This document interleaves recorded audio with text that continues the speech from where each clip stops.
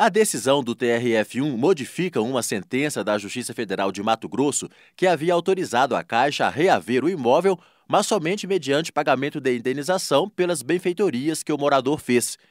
O entendimento inicial foi de que o valor de mercado da propriedade aumentou depois da reforma e ampliação. O problema é que o contrato celebrado entre a Caixa e o morador vedava qualquer tipo de alteração na estrutura original do imóvel. Foram construídos muros, varandas, área de serviço, quarto.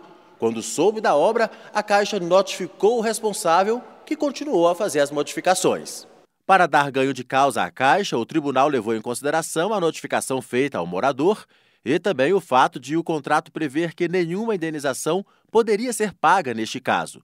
A decisão serve de alerta para outros arrendatários e mutuários que têm contratos de arrendamento ou financiamento de imóveis. O arrendatário ele não pode realizar obras ou aumentar, fazer um puxadinho, um quarto, uma varanda coberta, sem que a parte arrendadora tenha autorizado. É como se você você alugasse um bem e quisesse melhorá-lo, né? Sem que o locador te autorize a fazer isso.